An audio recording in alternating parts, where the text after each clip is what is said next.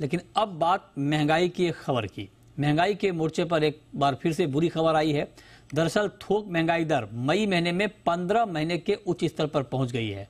मई महीने में होलसेल महँगाई दर 2.61 परसेंट हो गई है, जो कि अप्रैल महीने में 1.26 परसेंट थी।